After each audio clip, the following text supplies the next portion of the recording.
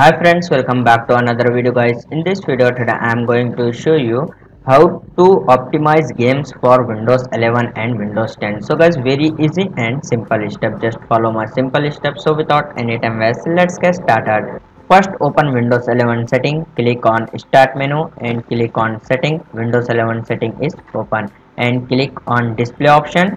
and scroll down click on graphics and select the game application and software which games optimize in Windows 11 so I will select MSI app player and click on option and select the high performance you can see here GPU AMD Radeon graphic card is showing just click to high performance and click on save and close the setting and restart your PC so guys this is going to easily optimize games for Windows 11 Thanks for watching my video. Please don't forget to like, share and subscribe my channel and press bell all notifications. See next video.